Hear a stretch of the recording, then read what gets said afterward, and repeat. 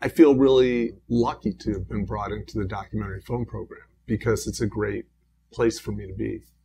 Um, I love the size, that it's small.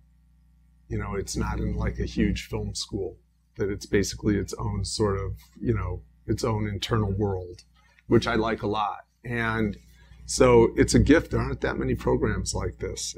Because a lot of what I want to do with students is get them out of their comfort zone, get them trying to do things that they haven't done before, getting them to risk. And the most importantly, I want them to fail. And that sounds weird, but I feel the only way that you really go forward is to fail.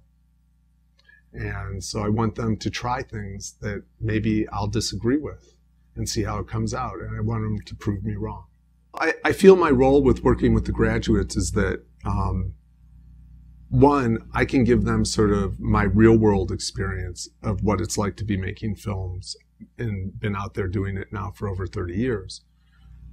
But the other thing I think that I can help them with is just sort of, I've been very lucky that I've had a lot of people who've been very influential in my life who've sort of taken me along for the ride. And I'd like to be one of those people who starts to take those students along for the ride. And I want to be that first person there for them that, um, where they can come and feel comfortable.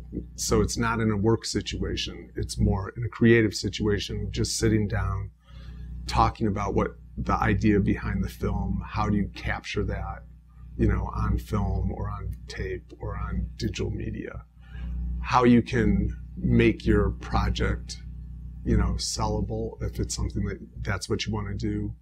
And, and really sort of the nuts and bolts of how do you, what's the important thing to get across and how do you deal with content. I think the thing I'm the strongest with is with the kids who are in the documentary film program. I can help them sort of, I, I hope, take the first step to sort of achieving their dream of being able to make you know, either feature length or shorter documentary films.